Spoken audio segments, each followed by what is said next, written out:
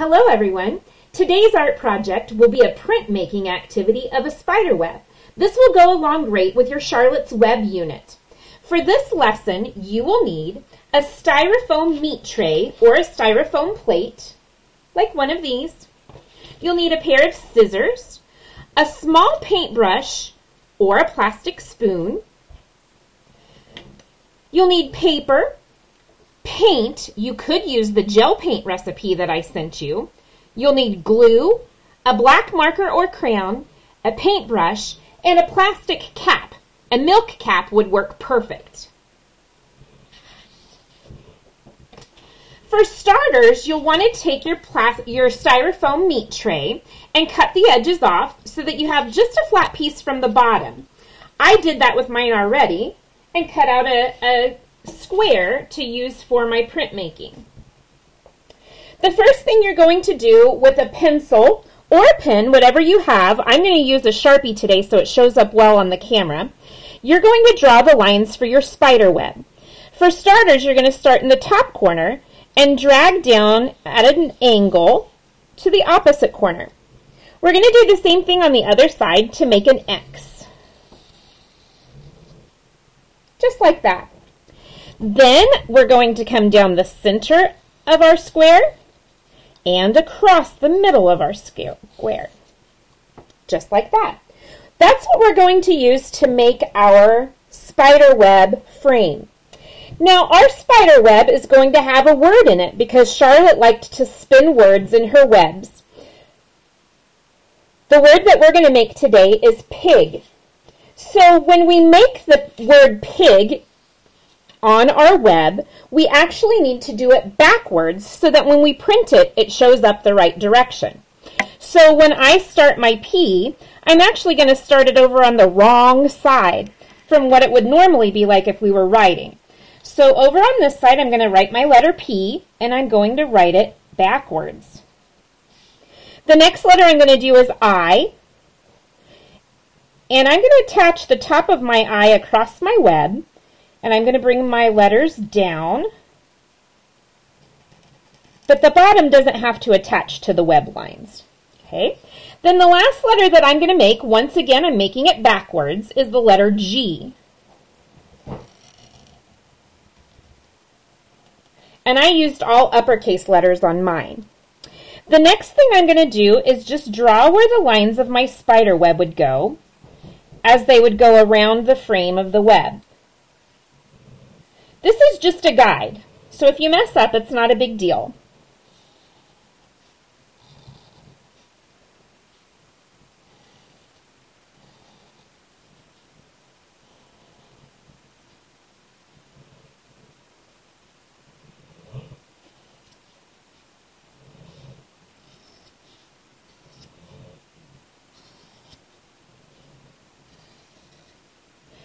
And some of your lines may fall off of your square, and that's okay too. It doesn't all have to fit on there.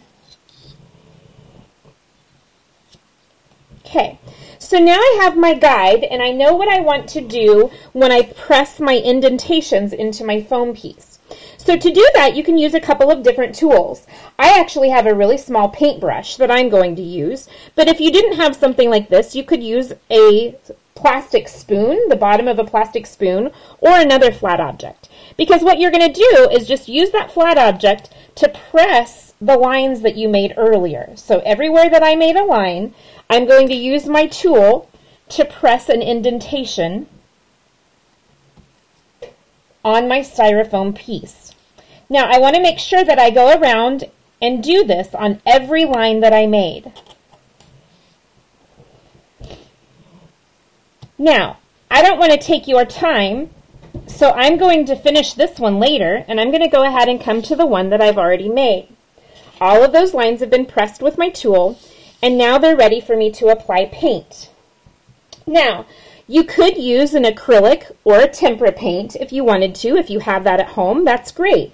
Some of you may not have those supplies at your house, so it's perfectly fine to do a homemade paint recipe if you want to. I did send out a list of recipes um, with your teachers, so you should have that accessible to you.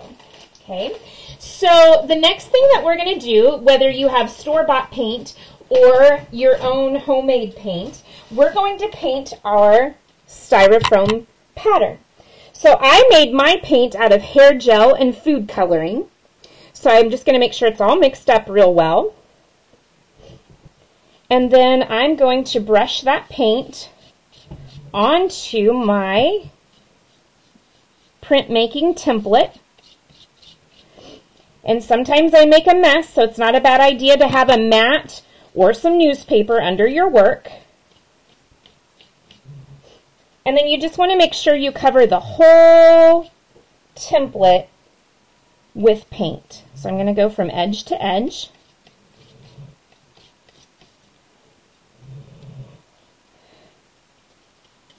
All right. Once you get it completely covered, your next step is to use a piece of paper applied right on the top. So I'm going to do that now. I'm going to set mine right on top. And then I'm going to use my hands to make sure that I rub and transfer all of that paint from my styrofoam template onto my paper. So I want to make sure I rub and get it on each corner and in the middle. Then, very gently, I'm going to start lifting it slowly from the corner and pull it off my template. And with a little luck, the paint will have transferred from the template onto your paper. And it looks like you can even see the word pig on my spider web. So once that is all done, you'll want to let it dry for just a few minutes. So I'm going to pull out my sample that has already dried. And we're going to add a spider to our piece today.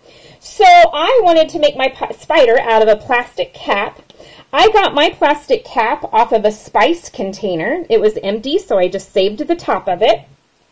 And what I'm going to do is glue it onto my web that I made. Now, you can do a couple of things. I happen to have googly eyes at my house, so I'm going to glue some googly eyes onto mine. If you don't have googly eyes at your house, all you have to do is cut out two small white circles and then use your black marker to make dots in the middle of them. And then you could glue those onto your spider for the eyes. So that's going to be my next step. I'm going to take my glue. I'm going to place it around the bottom edge of my cap.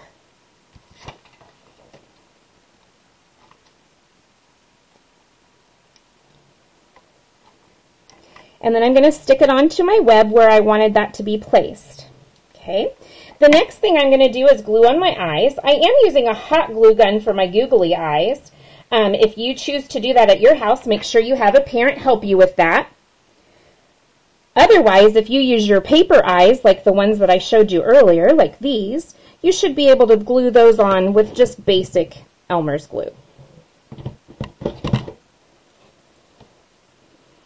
So once my spider's eyes have been glued on, my next step is to give him legs. Now, spiders have eight legs, so I'm going to put four legs on each side.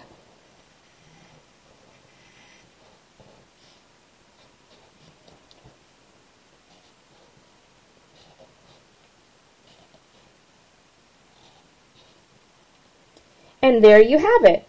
There's our printmaking spiderweb activity for the day. Thanks for listening.